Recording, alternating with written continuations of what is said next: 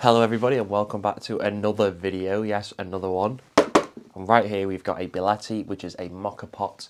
Bialetti is just an Italian make that been making these for quite a while so I thought I'd pick one up obviously when I'm going out and camping. So what I have done is for the Jetboil I have bought a pot top.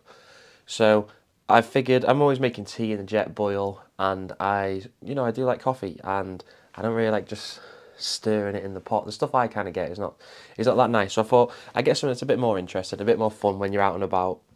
This will serve two small pots, but you can also have just you know one big pot out of it. Um, they're 90 mil, so they're only small like espresso pots, but obviously you can kind of have like a full cup of coffee through this, which I quite like it strong anyway. So I've picked one of these up, so let's just open it up see what we get inside. I'm not too sure how to use one of these. I've seen a couple of videos online and it looks pretty cool and I've kind of always wanted to get one. So this is pretty nicely wrapped. Then we've got a little instructions manual here.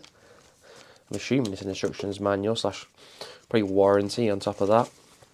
So just explains what everything is and uh, what is inside. And let's open this up.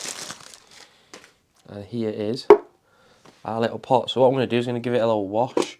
It is covered in grease all over the threads and stuff like that, which is fair enough to keep them uh, kind of lubricating correctly. So you can see there's the inside, so these are the two sides. And then, yeah, so what we're going to do is we're going to give this a little wash and then we're going to give it a try out on the jet Jetboil. So we'll probably go outside for that and uh, give that a go because I don't really fancy using a gas bottle inside.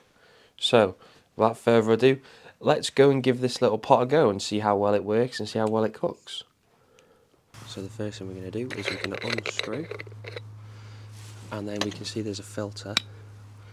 So we're going to take the filter out like so and we're going to place our coffee in here and then we're going to put some water in here. Now this is only a two cup so it's not going to be a massive one so hence why I don't have a massive cup. I don't really want to drink a, a litre of coffee like I know some of the sizes are but this will do for me.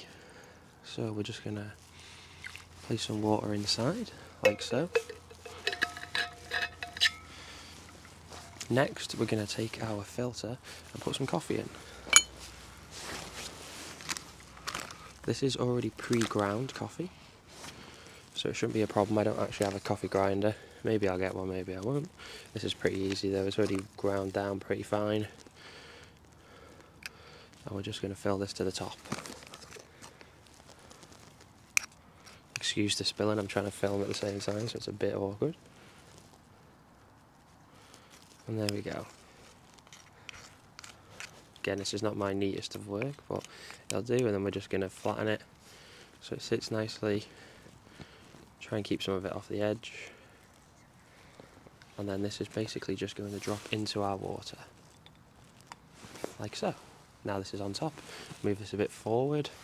We're basically just going to, well, close this up first. My uh, amazing masking tape. That is crap. And then we are going to screw the lid on.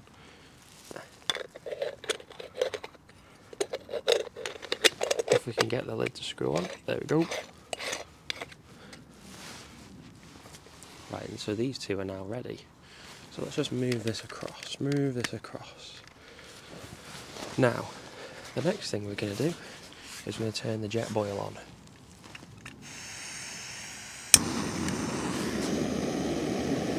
So you may not be able to see the flame, but you can bloody feel it, I'll tell you now.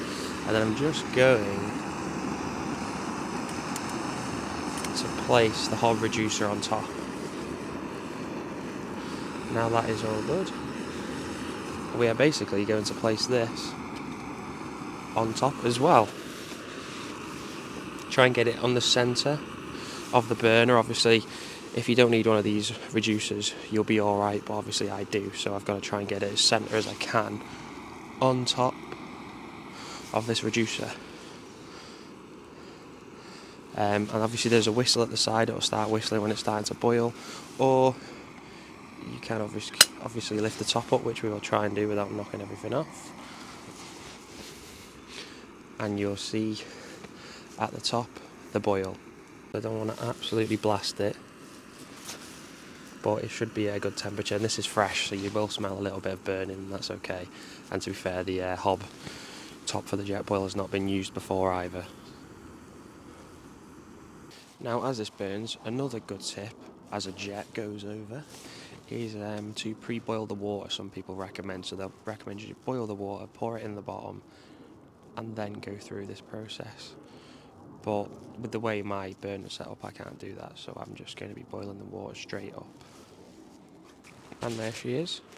The uh, coffee is nicely pouring through. So we'll just let that finish pushing it all through. Obviously the water is going to go all the way to the end. As you can see, some of it is actually leaking out the bottom. I probably didn't twist it as tight as I could have. so that probably hasn't helped, as there's a water droplet bouncing around on the burner. And there we are, all done and ready. So let us just uh, cut the gas off. Let that fizzle through, and then we're going to close the lid. Don't spill it, for God's sake.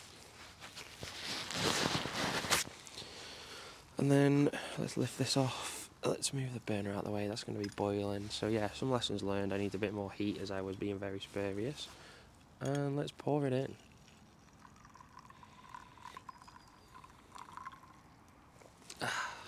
And there's a nice shot of espresso in there. Now I don't I'm not a massive coffee drinker but yeah you can add milk, you can add water to it, whatever you need. So here is a little espresso shot. So, this has been taking a look at the Bialetti. I hope you've enjoyed this video, I hope it's been informative, and I'll see you all in the next video.